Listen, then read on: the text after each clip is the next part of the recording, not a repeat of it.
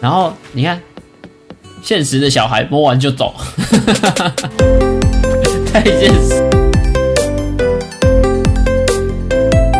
可以顺便剪进去。就我原本不知道到底是，就是呃，我玩的时候，我朋友他就说什么，哎，这个我要借我摸一下。我就想说摸一下到底是什么意思？哎，好，我现在讲一下怎么摸家具呢？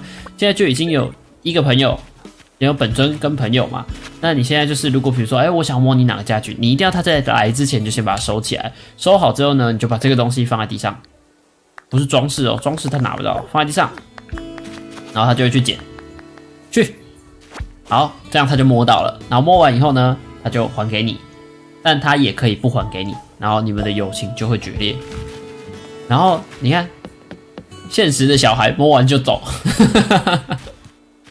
太现实了吧！然后之后呢，到服务处哦，对，我的服务处升级了，看起来根本就是，我觉得这个服务处根本就是那个什么户政事务所。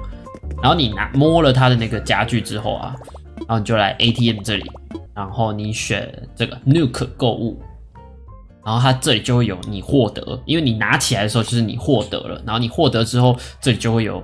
那个你从你朋友身上摸到那家具，然后就可以再重新订购一次。可是有些东西是非卖品，像我从我朋友那里看到一个，我觉得超级超级赞的，就是哎非卖品啊啊这个这个这个，我觉得这个超级棒哦，超级想要的。可是这是非卖品，他说他好像是旅游，就是那个鸭子，就他那个鸭子给他的，然后这我就拿不到，我就觉得超可惜，超想要这个东西，就没有办法再重新订，超可惜。